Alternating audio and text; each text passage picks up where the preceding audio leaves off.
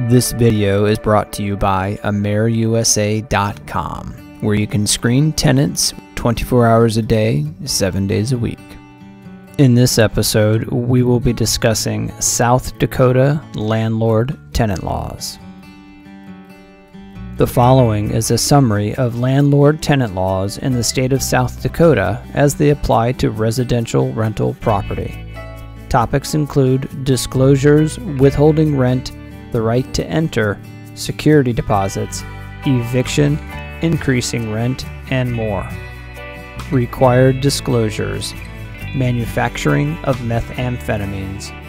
Any landlord who has actual knowledge of prior manufacturing of methamphetamines in a rental unit must disclose that information to any lessee or any person who may become a lessee of the same rental unit.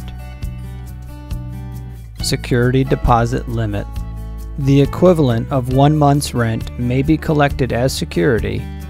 Special circumstances requiring a higher deposit may be permissible if it's clear that there is an increased risk for damage to the premises. Deadline for returning a security deposit. The landlord must return the deposit within two weeks after the end of tenancy and must tell the tenant why deductions were taken, if any. It is then up to the tenant to request a written accounting of the deductions, which must be provided by the landlord within 45 days. Late fees. There is no South Dakota statute that addresses late fees, so in order to charge one, it must be written into the lease agreement. Increasing rent.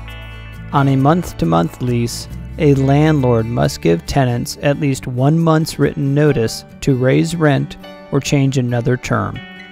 Longer lease agreements cannot be increased unless the agreement itself specifically addresses raising the rent. Withholding rent. If a landlord fails to maintain a habitable rental unit, the tenant may repair the property and withhold the cost from the rent. However, the tenant must give the landlord notice first and allow a reasonable amount of time for the problem to be corrected. If the repairs exceed one month's rent, then rent may be withheld entirely. Terminating tenancy and eviction. A three day unconditional notice to quit may be used for non payment of rent, substantial damage to the property, or holding over after the lease expires.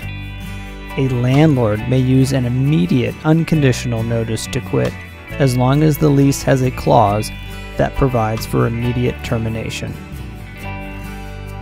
The right to enter. Although South Dakota doesn't address a particular amount of time, a landlord should provide the tenant a reasonable notice of entry before being permitted inside the unit. For more information, additional laws and articles can be found at AmericanLandlord.com.